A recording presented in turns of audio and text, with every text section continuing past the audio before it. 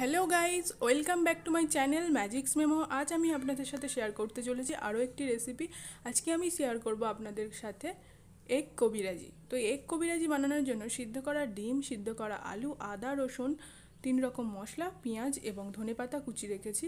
আর প্রথমেই আমরা সিদ্ধ করা ডিমটাকে গ্রেডে গ্রেটারের মধ্যে গ্রেট করে নেব।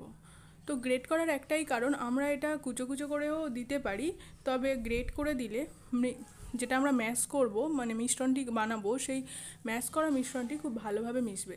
প্রথমে ডিমটাকে গ্রেট করার পর আলুটাকে ভালো করে গ্রেট করে নিচ্ছি মেশিনের মাধ্যমে। অর্থাৎ সিদ্ধ করা আলু, এখানে আমরা কাঁচা আলু ব্যবহার করিনি, সিদ্ধ করা আলুই ব্যবহার করলাম, যাতে গ্রেট করার পর মিশ্রণটি খুব ভালোভাবে একে অপরের সাথে মিশে যায়।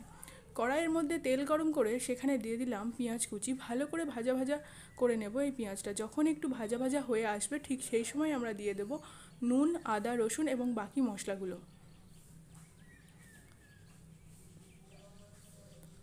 নুন দেওয়ার পর আমরা আদা এবং রসুন পরিমাণ মতো দেব। আপনারা যদি চান, তাহলে আদা রসুনের পরিমাণ বাড়াতে পারেন।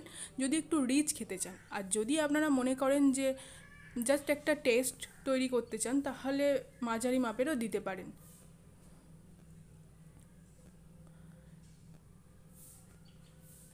ভালো করে নাড়াচাড়া করতে করতে তারপর আমরা দিয়ে দেব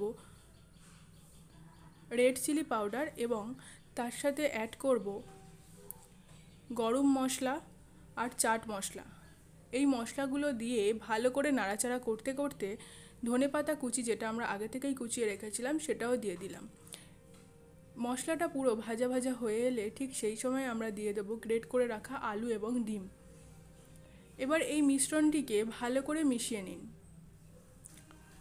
এমন নয় যে আপনাকে এই মিশ্রণটি খুব ভালো করে অনেক টান টান করতে হবে। আপনি চাইলেও একটু নরম পাক করতে পারেন। তো এই পাকের উপর কোনো ব্যাপার নয়, আপনি যেমন খুশি তেমনই করতে পারেন। তো ডিমটা দিয়ে ভালো করে নাড়াচাড়া করলে যেহেতু জলের পরিমাণ এখানে নেই, তাই এটা এমনিতেই খুব নরম হবে না। তো মোটামুটি এইরকমভাবে নাড়াচাড়া হয়ে গেলে তারপরে আমরা অ্যাড করছি সোয়া সস সোয়া সস দিয়ে ভালো করে আরও একবার নাড়াচাড়া করে নেব। হালকা হাতে ঘুরিয়ে নেওয়ার পর ভালো করে মিশ্রণটি মিক্সড করে নিয়ে আমরা নামিয়ে নেব। নিয়ে একটা করে ডো তৈরি করব, যে ডোটা চৌকো আকার শেপ তৈরি করতে সাহায্য করবে। তো কড়া থেকে নামিয়ে নিয়ে হালকা ঠান্ডা হলে তার উপরে আমরা হাতে তেল নিয়ে, হাতে তেল এই হাতে তেল নিয়েছি, এই হাতে তেল নেওয়া অবস্থায় আমরা ছোট ছোট ডো করে নিয়ে চৌকো আকার শেপ দেব। আপনি চাইলে এটা গোলও করতে পারেন, ত্রিভুজ করতে পারেন, আপনার উপর ডিপেন্ড করছে। তবে যেহেতু এটা কড়াইতে দিয়ে ডিমের উপরে আমাদেরকে ঘোরাতে হবে, তার জন্য চৌকো শেপ দিলে করতেও সুবিধা, দেখতেও অনেক ভালো হয়। আর সাধারণত কবিরাজি রেসিপিগুলো চৌকো শেপ দিয়েই হয়। তাই চৌকো শেপে করে একটা পাত্রের মধ্যে আপনারা একের পর এক সবটা সাজিয়ে নিন। নেওয়ার পর এইরকমভাবে নিয়ে নিই। নিয়ে একটার পর একটা গুছিয়ে সবটা সাজিয়ে নিই। সাজিয়ে নেওয়ার পর একটা পাত্রের মধ্যে দুটো থেকে তিনটে ডিম ভালো করে ফেটিয়ে রাখুন। আপনার ওপর ডিপেন্ড করবে যে আপনার কটা ডিম লাগবে। আপনি চাইলে একসাথে পাঁচ ছটা ডিমও ভেঙে রাখতে পারেন, কারণ আমরা দুটো পাত্র ব্যবহার করেছি। যে পাত্রের মধ্যে একটাতে ডিম থাকবে এবং আরও একটা পাত্রে ডিম রেখে সেটাতে আমরা ডিমটা ডুবিয়ে ওতে ছাড়বো। তো প্রথমেই আমরা হাত দিয়ে ডিমটাকে ঝরা কাটিয়ে কড়ার উপরে ফেলব লম্বালম্বিভাবে তখন কড়াইয়ের ফ্লেম একেবারেই থাকবে লো মিডিয়াম। একেবারেই লোতে রাখার পর ডিমটাকে এইরকমভাবে দিয়ে সরু সরু করে লম্বা আকারে দিলাম। এর ওপরে ওই কবিরাজিটা ডিমের মধ্যে চুবিয়ে আবার এতে ছেড়ে দিলাম। দেওয়ার পর আপনি চামচ কিংবা কাঁটার সাহায্যে করতে পারেন। একের পর এক উল্টিয়ে ডিমের ওই মিশ্রণটি গোটাটার গায়ে লাগানোর পর তুলে নিলাম। আমি আরও একটা প্রসেস আপনাদেরকে দেখাচ্ছি, এইটা একবার হয়ে যাক। তো আপনারা চাইলে লাল করে ভাজতে পারেন, একটু সাদাও তুলতে পারেন, তবে লাল করে ভাজলে দেখতেও ভালো লাগবে, খেতেও অনেক মুচমুচে হবে।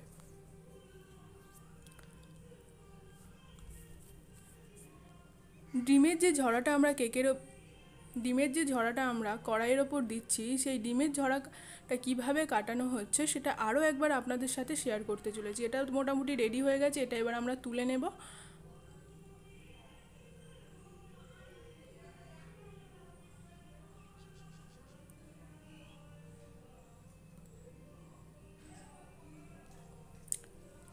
এটা আমরা তুলে নিয়েছি। আর এবার কড়াইয়ের মধ্যে আরও একবার আপনাদেরকে দেখাচ্ছি যে এক কবিরাজি বানানোর জন্য বাইরের যে অংশটা থাকে সেটা আমরা কীভাবে বানাই। প্রথম হাতে করে ডিমের বাটির মধ্যে হাত ডুবিয়ে তার আঙুলের মাথাগুলো দিয়ে এইরকমভাবে কড়াইয়ে সরু সরু করে ডিমটাকে ফেলতে হবে। সেটা একদম লো ফ্লেমে থাকা গ্যাসে অবস্থায়। তো এই রকমভাবে ওপর ওপর কন্টিনিউ ফেলতে থাকুন, তারপরে একটার সাথে একটা জুড়ে গিয়ে একটা কোটের তৈরি হবে। ঠিক সেই সময় আমরা ডিমের মধ্যে চুবিয়ে রাখা ওই কবিরাজিগুলো নিয়ে এই ডিমের উপরে দিয়ে দিলাম। তারপরে দেখতে হয়ে গেল এত সুন্দর একটা কবিরাজি। তো বন্ধুরা, আপনারা চাইলে বাড়িতে এইরকম রেসিপি বানান আর কেমন লাগল অবশ্যই জানান। আজকের রেসিপি এখানেই শেষ, দেখা হবে অন্য কোনো রেসিপি নিয়ে। তবে যদি আমার ভিডিওটা আজকের মতো ভালো লেগে থাকে তাহলে প্লিজ লাইক শেয়ার কমেন্ট করবেন আর আমার চ্যানেলের নতুন সদস্য হলে অবশ্যই সাবস্ক্রাইব করবেন। ভিডিওটি দেখার জন্য অনেক অনেক ধন্যবাদ। Thank you